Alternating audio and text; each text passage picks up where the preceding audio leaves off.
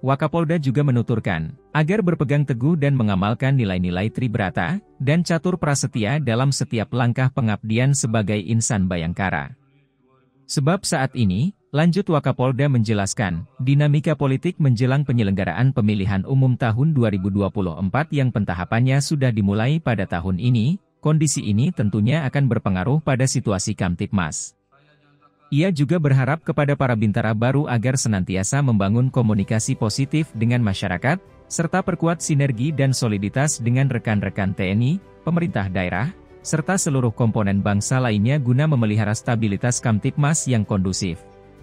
Sementara itu, terpisah, Kabit Humas Polda Sulteng Kombes Pol Joko Wienartono menuturkan. Berdasarkan keputusan Kapolri nomor Kep 884-6-2023 tentang pengangkatan dan penempatan siswa Diktukba Polri untuk SPN Polda Sulteng telah dilantik sebanyak 83 bintara. Tim Liputan melaporkan.